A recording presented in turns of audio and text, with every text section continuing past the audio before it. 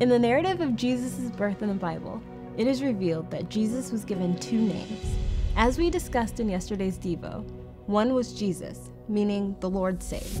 The other name he was given was Emmanuel, which means God with us. In the book of Isaiah, which is in the Old Testament of the Bible, the prophet foreshadowed Jesus' birth, saying, The virgin will be with child and give birth to a son, and will call him Emmanuel.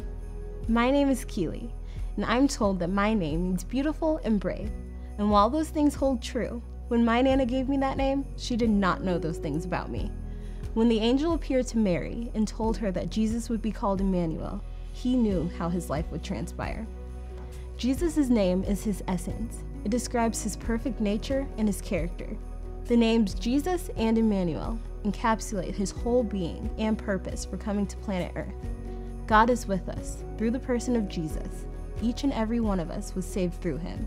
So now it's up to us to accept that gift of salvation.